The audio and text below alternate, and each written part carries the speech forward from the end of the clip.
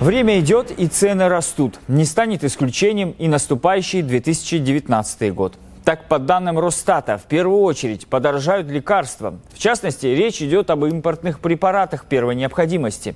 Однако повышение коснется и отечественных лекарств, так как производители зачастую вынуждены применять при их изготовлении зарубежные технологии. На рынке продовольствия ожидается рост всех позиций. Сезонные продукты будут немного дешеветь, но в целом прогнозы нерадужные. Ожидаемый рост 11%, сигареты подорожают на 20%. Чиновники отмечают, что это не только пополнит казну государства, но и поможет отказаться многим от вредной привычки. Также поднимется цена и на топливо. Стоимость литра бензина с большей долей вероятности перевалит за 50 рублей.